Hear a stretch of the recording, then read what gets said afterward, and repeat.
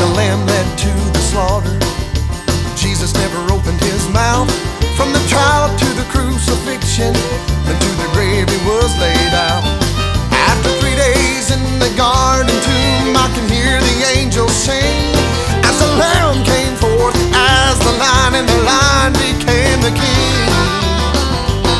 You won't find him again at the whipping post, standing there so meek, and he won't be nailed to a rugged cross. Another Calvary, cause he don't have to prove one thing. That day the lamb became the lion, and the lion became the king.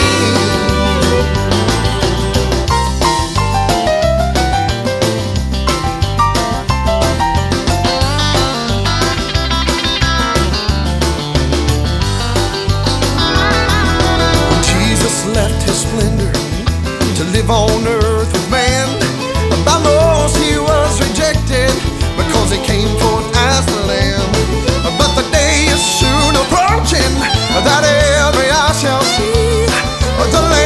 lamb